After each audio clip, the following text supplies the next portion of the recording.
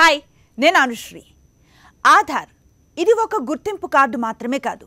సంక్షేమ పథకాలను పొందాలన్న ఆర్థిక లావాదేవీలకు ఇది compulsory.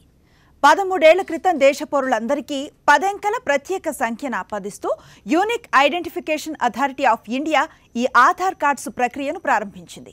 Department of technology and communication వెల్లడించిన అధికారిక లెక్కల ప్రకారం దేశవ్యాప్తంగా పద్దెనిమిదేళ్ళకు పైబడిన వారి ఆధార్ ఎన్రోల్మెంట్ పూర్తయింది. ఈ లెక్కన మొత్తంగా నూట ముప్పై నాలుగు కోట్ల ఆధార్ రిజిస్ట్రేషన్ కార్డ్స్ ప్రక్రియ జరిగింది. అయితే దేశంలో ఉన్న నకిలీ ఆధార్ నమోదును అరికెట్టేందుకు కేంద్రం కొత్త నిబంధనను తీసుకొచ్చింది. ఆధార్ కార్డు తీసుకొని పదేళ్ళు పూర్తయి మీరు ఇప్పటికీ అదే అడ్రస్లో ఉన్నా మీరు అదే అడ్రస్తో మీ ఆధార్ కార్డుని అప్డేట్ చేసుకోవాలంటూ యుఐడిఏఐ డిక్లేర్ చేసింది. ఆధార్ కార్డు జారీ చట్టంలోనూ మార్పులు చేస్తూ కేంద్రం గెజిట్ నోటిఫికేషన్ ఇచ్చింది. ఇప్పటికే అన్ని రాష్ట్రాల ప్రభుత్వ ప్రధాన కార్యదర్శులకు లేఖలు రాసింది.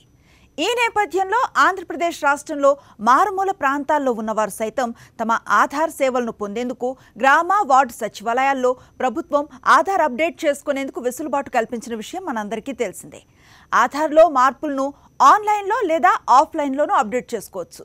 మనకి దగ్గరలో ఉన్న ఆధార్ సెంటర్స్కి వెళ్ళి మన పేరులో ఉన్న మిస్టేక్స్ కానీ అడ్రస్లో ఉన్న మిస్టేక్స్ని కానీ సరి చేసుకోవచ్చు కానీ దానికి అవసరమైన డాక్యుమెంట్స్ని తీసుకువెళ్ళటం మాత్రం మర్చిపోవద్దు. ఏ చేంజెస్కి ఎట్లాంటి డాక్యుమెంట్స్ అవసరమో యుఐడిఏఐ వెబ్సైట్లో మనకు అందుబాటులో ఉంటాయి. అలాగే ఆన్లైన్లో యుఐడిఏఐ అధికారిక వెబ్సైట్లో నేరుగా మనకు అవసరమైన చేంజెస్ను చేసుకోవచ్చు. అయితే డాక్యుమెంట్ అప్డేట్ చేసుకోకపోతే ఏమవుతుంది? అసలు ఎవరు అప్డేట్ చేయాలి? ఇది కేవలం కొన్ని స్టేట్స్కే పరిమితం అలాంటి సందేహాలు ఉన్నవారికి నే చెప్పే ఇన్ఫర్మేషన్ కొంత హెల్ప్ అవ్వచ్చు. ఇది సెంట్రల్ గవర్నమెంట్ ఆదేశాల మేరకు ఆధార్ ఉన్న ప్రతి వాళ్ళు వారి ఆధార్ డాక్యుమెంట్ను అప్డేట్ చేసుకోవాలి. ఇది ఏ స్టేట్కో పరిమితం కాదు ఆల్ ఓవర్ ఇండియాలో ఉన్న ప్రతి భారతీయ పౌరులు ఆధార్ కలిగిన వారు చేసుకోవాల్సిన పని.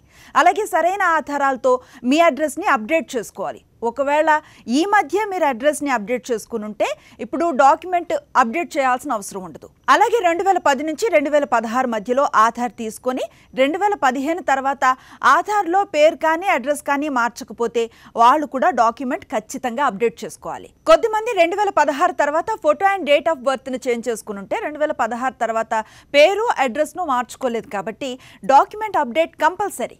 అమ్మాయిలకైతే పెళ్ళికి ముందు పేరెంట్స్ ఇంటి పేరుతో ఆధార్ కార్డు ఉంటుంది. పెళ్ళైన తర్వాత తమ అత్తగారింటి పేరుతో ఆధార్ కావాలంటే సబ్ రిజిస్టర్ ఆఫీస్లో ఇచ్చిన మ్యారేజ్ సర్టిఫికెట్తో ఆధార్ని మార్చుకోవచ్చు. మరో ముఖ్య విషయం ఏంటంటే ఇప్పుడు డాక్యుమెంట్ అప్డేట్ చేసుకొని వారందరి ఆధార్లు రెండు వేల ఇరవై మూడు ఆగస్టు తర్వాత సస్పెండ్ అవుతాయి. అలా అయితే ఆధార్తో లింక్ అయిన అన్ని సర్వీసులు నిలిచిపోతాయి. అంటే బ్యాంకింగ్ సర్వీసెస్ అన్నీ కూడా నిలిపివేయబడతాయి అన్నమాట. పైగా కేంద్ర రాష్ట్ర ప్రభుత్వాల నుంచి రావాల్సిన స్కీమ్స్ అన్నీ కూడా ఆధార్తో లింక్ అయినవే కనుక స్కీమ్స్ కూడా ఆగిపోతాయి.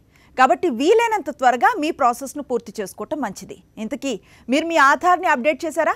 కామెంట్స్లో చెప్పండి.